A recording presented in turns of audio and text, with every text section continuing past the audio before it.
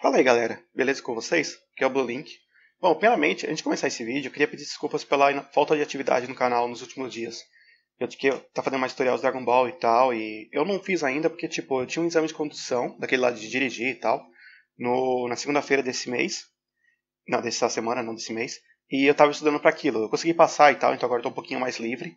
E depois disso, eu pensei em comprar uma webcam para poder fazer uns vídeos, tipo, falando mesmo, sem ter umas partidas no fundo, sem ter apenas uma foto, que, que nesse vídeo vai ser só uma foto mostrando assim no fundo. Eu queria ter um, um vídeo com o meu rosto. Só que, vamos dizer que tipo, eu gastei quase todo o dinheiro que eu tinha esse mês numa passagem para um torneio na Inglaterra em abril de Dragon Ball. Que eu moro em Portugal e tinha um torneio na Inglaterra, falei, quero ir para esse torneio. Gastei todas as minhas despesas e acabei. Só depois eu lembrei que eu tinha que comprar uma webcam. É. Mas enfim, voltando ao assunto, vamos falar sobre o que interessa. Sobre a line-up da Evo. Que eu também demorei um pouco para falar, mas já está aí disponível a line-up da Evo. Bom, quem viu meu último vídeo sobre esse assunto já sabe que eu acertei 100% da line-up do evento desse ano. Eu falo, a única coisa que eu errei é que eu falei que ia ter nove jogos e que eu, eu não tinha certeza do nome no jogo, mas aí eu falei, podia ser isso, isso, isso. Mas os oito jogos que eu tinha certeza realmente eram os oito jogos que estão na EVA. Então eu tô me sentindo, tipo, muito gratificante isso, porque eu acertei mesmo, tipo, tudinho da EVA esse ano. Que os jogos foram Tekken 7, Smash Bros. para Wii U, Fighter 5 Card Edition, BlazBlue Cross Tag Battle, Guilty Gear XR Rev 2, Injustice 2, Super Smash Bros. Melee e Dragon Ball Fighters. Então vamos discutir um pouquinho aí o que, que significa cada um desses jogos, qual que é a importância desses jogos, a ausência de alguns jogos está dando um pouco de drama, então vamos lá. Bom, para começar, a Evo tá passando. Cada ano que passa, tá ficando cada vez mais previsível. Saber quais vão ser os jogos que vão estar presentes, né? Tipo, já tem muito jogo que vai voltar todos os anos. Por exemplo, eu já tinha. Os Fighter 5 Arcade Edition, tipo, todo mundo já sabia que ia ter, porque Street Fighter sempre tem um mais novo. O Smash Bros. do Wii U e do Miri são outros dois jogos que, tipo, meio que estão trancados. Tipo, já estão com aquele spot que é deles mesmo, que ninguém vai remover. Aí agora com Tekken 7, tipo, já é um outro jogo, porque tipo, sempre teve um jogo 3D na Evo pelo menos, então já são tipo quatro slots que é certezas, então faltam menos ainda. O Guilty Gear já faz uns 2, 3 anos, tipo, desde que o XR saiu, que já tem um spot, spot garantido na Evo, que tá sempre trazendo muita gente, então já, já eram cinco jogos. A NetherRealm de Studio, sempre, sempre tem um jogo na Evo também, teve até aquele ano que não ia ter, que eles iam botar o Mortal Kombat em vez do Injustice, e não ficou colocar os dois juntos, então é garantido que vai ter um jogo, então já tinha um, um, outro slot que já era garantido. E esse ano, obviamente, Dragon Ball Fighters. Então meio que só sobrava um slot sobrando para tipo, para outros jogos. Em caso dois, né? Que tinha um nono jogo. Mas enfim. E esse último slot, tipo, confirmou mesmo que ia ser quando o Blazuka Zack Battle, quando eles anunciaram que metade do jogo seria DLC e que o jogo sairia no dia 31 de maio no Japão, eu falei, pô, tá aí na hora, tá garantido aí que vai participar da Evo. Porque, tipo, Nenhuma empresa mais é burra hoje em dia. Eles sabem que se anunciar DLC antes do jogo sair, é tipo dar um tiro no pé, que todo mundo vai começar a falar muito mal do, de você, que tem uma reputação terrível. Todas as empresas sabem disso hoje em dia. Então, para uma empresa anunciar metade do jogo como DLC, significa que tinha um motivo muito forte mesmo para isso. E esse motivo forte era a Evo. Eu já tinha previsto isso. Então, tipo, é, foi fácil de prever quais eram os oito jogos da Evo esse ano. Tipo, sete já eram garantidos, um oitavo que já tinha já ficou garantido com esse anúncio do DLC, que era o Blast Blue, eu sobrava só um novo espaço, que acabou não tendo. Então por isso que foi fácil para mim naquele vídeo acertar quais eram os jogos da Evo. Mas, em vez de falar sobre os jogos que estão presentes na Evo, que tipo, já está meio garantido, vamos falar primeiro sobre jogos que não estão na Evo, né? Porque tipo, o único jogo que para falar que tem alguma coisa para falar sobre o que está na Evo que é meio surpresa seria o Blast Blue. A gente pode discutir isso depois. Mas eu quero começar falando sobre os jogos que não estão na Evo, né? Principalmente um que é o que está todo mundo falando e está gerando muita discussão, que é o Marvel's Capcom Infinite. Tá todo mundo falando, pô, não tá na Evo, como assim? Depois de 15 anos não tem mais Marvel's Capcom na Evo. Pois é, uma hora ia acontecer, né? E tipo, quem me conhece sabe que eu passei os últimos, tipo, o último tempo aí falando, tentando ir contra a Marvel, tipo, é, meio que indo contra o, o jogo no geral, sobre a franquia Marvel's Capcom. Por que, que eu sou contra a franquia? São então, diversos motivos. Tipo, eu já fui um jogador de Marvel. O Marvel's Capcom 3, eu joguei ele em 2011. Eu treinei o Marvel's Capcom 3 em 2011 e tal. Que eu gostava mais de BlazBlue, mas não tinha muita cena pro BlazBlue em São Paulo. Então eu tava jogando Marvel's Capcom, Marvel's Capcom 3 com o pessoal nos torneios. Eu ia organizar os torneios, não sei o quê. E por aí vai. Naquela época eu já tava começando a achar que o jogo era muito quebrado. Mas eu tava esperando sair o Ultimate. Aí saiu o Ultimate, deu um tempo pro Ultimate. Eu vi que não deu muito. O jogo era meio quebrado mesmo. E então eu deixei pra lá. E até, inclusive, tipo, se vocês procurarem, vocês vão ver que é verdade, que eu até participei de Marvel's Capcom 3 na EVO 2012. Eu fui muito mal, porque já não tava jogando mais o jogo, mas enfim. Eu fui no, na EVO 2012, joguei Marvel's Capcom 3, Soul Calibur 5 e o Side Tournament de BlazBlue. Mas na época eu não era um bom jogador, então não foi num resultados muito satisfatórios. Enfim, todo mundo falando que o Marvel 3, Marvel's Capcom Infinite tá fora da EVO, que tipo, tá causando reboliço, falando dos números, não sei o quê. Vamos conversar um pouco sobre as, os fatos. Bom, antes de começar, quero dizer que, tipo, que discutir com um marveleiro sobre Marvel na internet é a mesma coisa que, tipo, você vê uma partida de Guilty Gear japonesa. Os caras defendem o indefensável.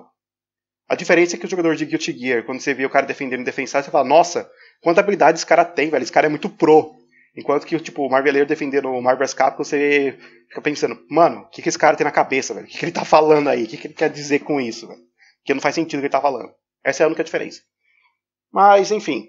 O pessoal tava falando, ah, que o jogo vai ter números em torneios, tem número de mais 100 pessoas participando dos torneios, e é verdade. Tipo, nos Estados Unidos, os Majors de Marvel's Capcom, quase todos têm mais 5 jogadores participando. Só que tem um detalhe, tipo, se você vai procurar o número de pessoas jogando online na Steam, por aí vai, não tem, tipo, muita gente jogando o jogo, por exemplo, no computador ou na versão do computador, que é a única versão que a gente tem como acessar a quantidade de jogadores que, tipo, que é disponível. Tipo, se ela entrar no site, ela fala. Tem, tipo, menos de 30 pessoas jogando. Então, do que adianta, tipo... Porque a Evo não é só FGC. Você tá pensando que tá mexendo com as empresas, tá mexendo com o pessoal querendo... Que vai assistir e tal. Tipo, inclusive, uma das grandes forças que o pessoal falava que o Marvel tinha, que não era só o número de jogadores, mas tinha o número de telespectadores. E sempre usaram isso para defender o Marvel. Só que vez usavam, ah, mas o nosso jogo tem telespectadores, por isso que ele vem antes do Street Fighter sempre nas finais e por aí vai. Mas dessa vez não vai ter telespectador, tipo, você não tem ninguém praticamente jogando, só tem o pessoal da FGC mesmo jogando. E é a mesma coisa que, por exemplo, com o BlazBlue antigamente, o BlazBlue só tinha o pessoal da FGC jogando. E é esse é o ponto que eu quero chegar agora, que eu acho que é o mais importante estar falando sobre o Marvel estar fora da Evo. Porque, tipo, eu tô feliz pra caramba que Marvel tá fora da Evo, mas não é porque eu sou um cara vingativo, ou porque eu sou um cara sadista, ou qualquer coisa do tipo. Tá, vingativo até posso ser, mas sadista eu acho que eu não sou, não. Mas, enfim. O grande motivo pelo qual eu tô feliz é que, tipo, eu passei muito tempo ouvindo o pessoal da Capcom falando um monte de porcaria sobre os outros jogos de luta que não são feitos pela Capcom. Tipo, eles falavam, por exemplo, vamos pegar o exemplo da Evo 2012, que foi tipo, quando eu fiquei, quando descobri que eu não ia ter BlazBlue naquele ano, eu queria ir naquele ano na Evo, tanto é que eu fui, eu fiquei tipo demolido por dentro. O jogo que eu jogava, que eu vi na Evo 2011, que na hype, eu queria estar lá ano que vem, e queria ir, não tinha. Fiquei demolido por dentro, tipo, fiquei arrastado por dentro. E depois eu ainda tinha que ouvir besteira na internet, não só na internet, como com os amigos. Tipo, eu organizava o torneio com o pessoal e o personal mesmo assim falava besteira sobre BlazBlue e por aí vai. E era sempre aquela piada. Ah, o jogo não tem muita gente que joga. Ah, o jogo não é bom bastante, os gráficos são ruins, ou a jogabilidade não é refinada. Ou, ah, você vai ver os torneios dos Estados Unidos, tipo, tem só 60 pessoas, tipo, quando o Fighter 4 tinha 200 pessoas, então não é tanta gente assim, sempre vai ver essas porcarias. Então, tipo, o que eu acho gratificante é que, tipo, ele, eu ouvia tudo isso, mas eu estive fora da Evo, e o meu jogo também teve fora da Evo, por exemplo, mas a minha comunidade e eu não fizemos nada para merecer isso. A gente não criou um, um estigma dentro da comunidade de jogos de luta do que, o que merece e o que não merece estar na Evo, o que merece e o que não merece ter Spotlight. E por aí vai. A gente não criou isso. Tipo, era apenas um rapaz de 20 anos na época, querendo jogar o jogo de luta favorito. Era só isso. E a comunidade de BlazBlue era nova, tipo, todo mundo que estava jogando BlazBlue praticamente tinha a minha idade e estava começando com a comunidade de jogos de luta ainda. Então a gente não fez nada para merecer e tá fora da EVA. A gente foi prejudicado fortemente na época por toda essa mentalidade, mas a gente não tinha feito nada para merecer estar fora do evento. E mesmo assim o pessoal zoava o jogo, que era jogo de anime, que não tinha muito jogador, que o pessoal não saía de casa para jogar, sendo que tipo, a maioria dos jogadores eram jovens e não tinham mesmo condição de sair de casa para jogar. E era, acontecia isso, era criticado. Enquanto que o Marvel, o que me deixa feliz agora é que o Marvel criou essa realidade. Eles não se tocaram que eles eram tão tóxicos assim, alguns até se tocaram. E, tipo, é muito bom você ver que, por exemplo, existiam dois tipos de jogadores da, na época, que era tipo do Marvel e do, da Capcom no geral, quando falava sobre jogos anime. Uns falavam, ah, vocês têm que construir a comunidade tipo, de vocês, têm que jogar o jogo que você ama e ir lá no torneio participar. Tipo, criava um monte de frasinha clichê do que a gente devia fazer para promover o jogo. E era uma coisa que, tipo, me irritava pra caramba na época ainda irrita. Falar que você tem que ter o jogo lá, você tem que participar, porque mesmo assim, tipo, eu fazia torneio, fazia um monte de coisa e o pessoal no São Paulo ainda meio que ignorava, tipo, tacava o foda que eu tava fazendo aquilo. Desculpa o palavreado. E, e, existia aquele pessoal que realmente xingava o jogo, falava que o jogo anime era uma porcaria, que o jogo anime não, não prestava, que era coisa pra Oeabu e etc. Então, tipo, é muito bom agora ver que esse mesmo pessoal que falou tudo isso tá passando por isso agora. Porque, tipo, a gente não fez nada que mereceu todo o tratamento que a gente fez. Mas Marvel fez. Marvel só tá colhendo os frutos do que eles fizeram no passado. Então, tipo, agora é muito bom você ter que ouvir, por exemplo, um Yipes da vida, ter que ouvir falar: ah, vocês têm que crescer a comunidade, vocês têm que fazer a comunidade crescer entre vocês. Ou então, tipo, você ouvir o Filipino Champ da vida, tem que ouvir o pessoal falando que o jogo é um ruim, que o jogo não tem gráficos, que o gráfico é uma porcaria, por aí vai. Isso é gratificante agora, porque, tipo, se eles criarem essa realidade, agora eles têm que sofrer com isso.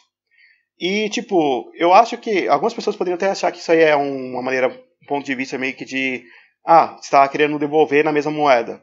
Mas eu acho que não, porque, tipo, existe o Dragon Ball Fighters na Evo.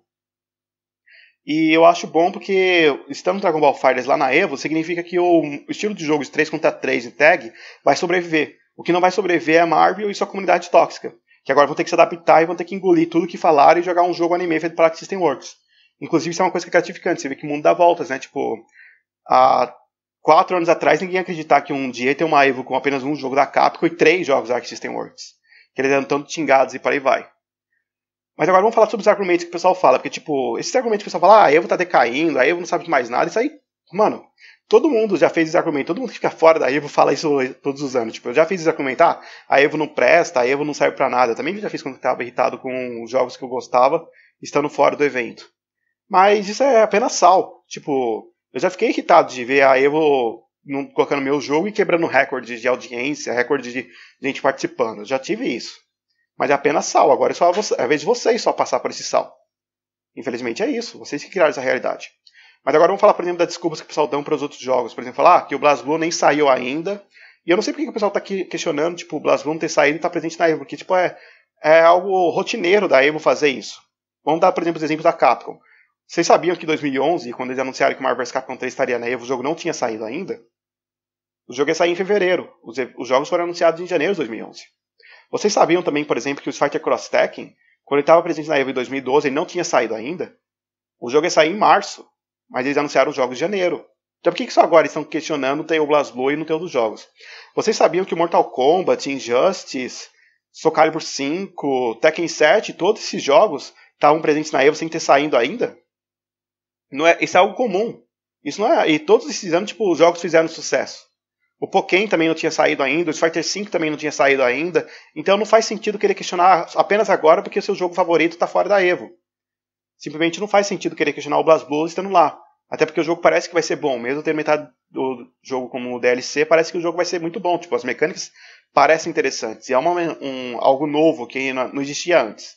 Existiam jogos de tag, mas ele está meio que unindo algumas mecânicas que não existiam um, um jogo que unia essas mecânicas desse jeito. Mas vamos falar agora dos outros jogos que não estão presentes na Evo. O Pokémon Tournament, eu acho uma pena que não esteja presente na Evo, que é o meu jogo principal, é o jogo que eu, eu sou competitivo junto com o Tekken. Eu acho uma pena, realmente não estar na Evo, mas tipo, a comunidade já decidiu que a gente não precisa da Evo para sobreviver. A gente tem torneios ao redor do, do ano com de Pokémon que acontecem, tipo, que vai gente do mundo inteiro. Aqui, por exemplo, na Europa teve Revolution, que veio gente pra caramba dos Estados Unidos participar. Nos Estados Unidos teve o Final Boss, que teve gente da Europa e do, do Japão que foi, tipo, tem mais de 150 pessoas participando, e era um torneio só de Pokémon.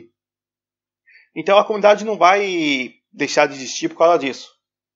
E a gente aceitou isso. A gente aceitou que o Pokémon precisa estar presente na Evo. Tipo, estar tá presente na Evo é muito bom. Mas nós temos nossos eventos principais, nós temos nossos torneios grandes que acontecem ao redor do, do ano. Temos o, que eu falei, o Revolution, tem o Final Boss, tem o torneio próprio da Pokémon Company, que é do, junto com o, o torneio oficial de Pokémon dos jogos de carta e o jogo de RPG.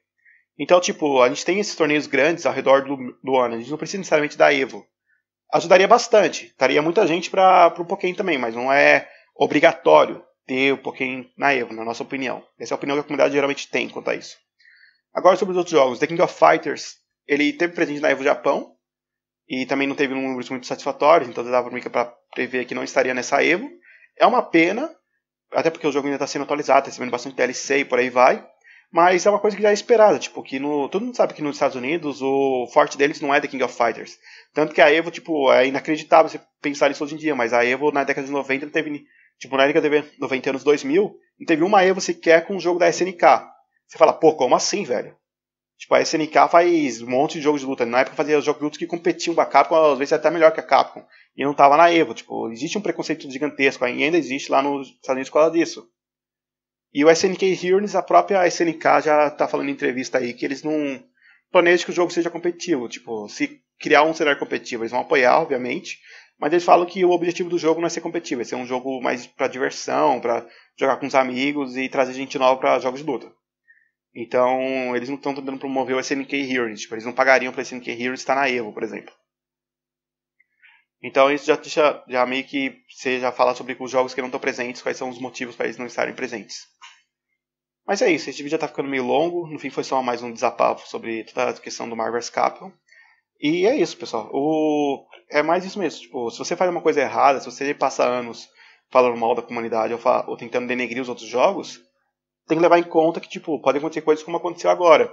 É muito ruim pro pessoal que, tipo, não tava jogando e que só começou a jogar no Marvel Infinite. Com certeza, tipo, tem pessoas que não agiam daquele jeito e estão sofrendo por isso. É, é ruim tá, eles estarem passando por isso. Eles não fizeram nada para merecer isso. Mas existem muito, muitos poucos jogadores que começaram no Marvel Infinite. A maioria tá começando no Dragon Ball mesmo, então não vai estar afetando tanta gente assim. Mas é isso, pessoal. O que vocês acham da Line Up da Apple? O que vocês acharam de todo esse drama do Marvel e toda essa discussão que está tendo na internet? Deixa aí um comentário aí no vídeo. Desculpa se o vídeo tiver ficado muito longo. E espero que vocês tenham gostado desse estilo mais podcast, sem roteiro. E é isso, pessoal. Sou o Blue Link. E até a próxima aí. Falou?